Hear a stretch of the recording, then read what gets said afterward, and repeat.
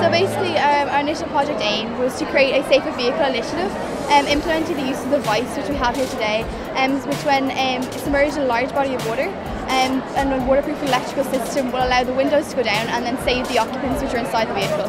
When doing research, we realised 400 fatalities in North America alone. So basically here we have a simple circuit really. So we have various components. So we have our sensor, uh, a relay, a switch and a diode and the circuit is obviously connected to the motor of the window and when the sensor is submerged in the water the window will automatically come down.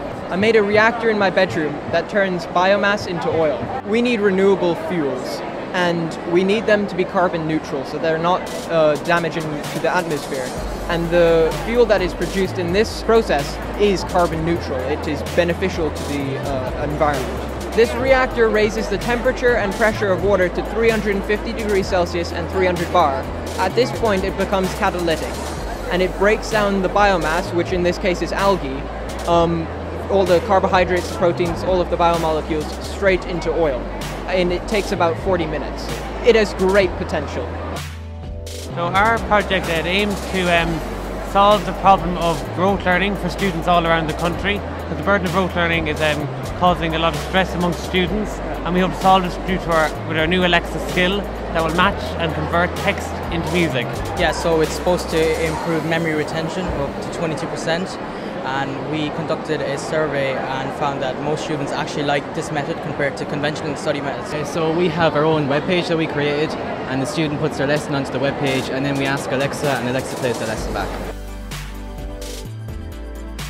So what we wanted to do was raise awareness about different mental health issues with different teenagers today. So we did surveys to figure out, you know, what kind of issues people are struggling with. A lot of people they say that they are struggling with mental health issues. It kind of showed that a lot of people feel that school was their main kind of cause of stress. When we interviewed the teachers, they thought that it was kind of social media and phones, but the students themselves didn't actually agree with that. I think that there needs to be more of like a connection between students and teachers so that like the teachers know to tell the students about different resources available to them so that students know when and where they can get help.